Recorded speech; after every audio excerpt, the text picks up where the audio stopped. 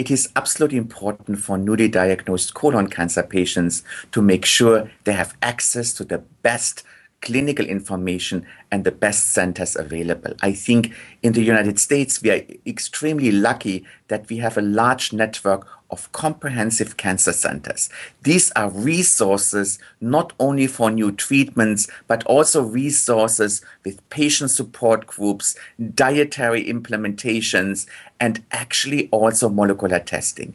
We are living in a molecular revolution right now, and it's absolutely important to make sure that you have access to the best genetic taste testing to make sure you have the best treatment options, as well as a support system which helps you psychologically, socially, as well as nutritionally to be in the best shape to guarantee the best outcome.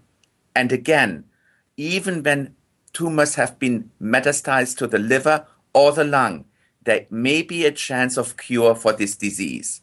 The best treatment options can guarantee or open up a window of opportunity of cure.